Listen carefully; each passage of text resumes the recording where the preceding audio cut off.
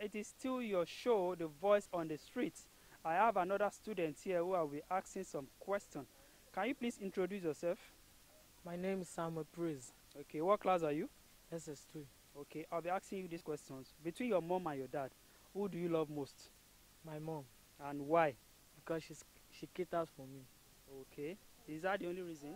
Yes, Because she caters for you. yes, she was always there for me. Okay, your dad doesn't cater for you?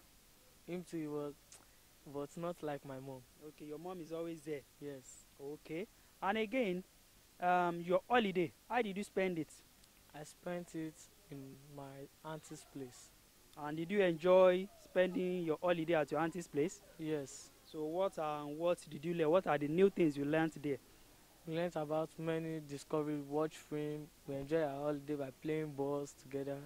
Okay. So you really had fun. Yes, So and you are go- you said you are going to SS3, right? yes, So are you really excited going to a new class? yes. So what what are you excited about? Because this SS3, I'm going to write my WAEC, so I'm fully prepared for it.